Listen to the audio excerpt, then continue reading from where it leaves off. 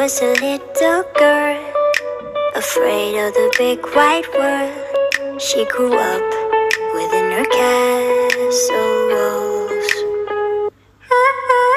Now and then she tried to run, and then on a night with the setting sun, she went in the woods away, so afraid, all alone. They her, don't go there. There's creatures who are hiding in the dark. Then something came creeping.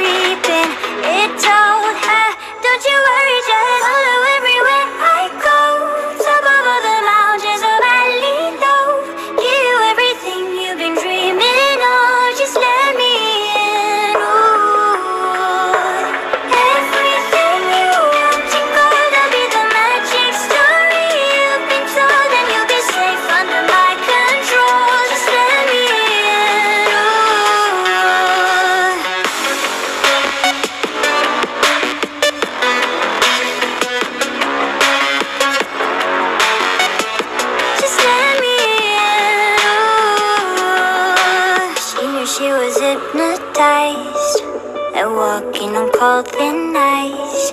Then it broke and she awoke again.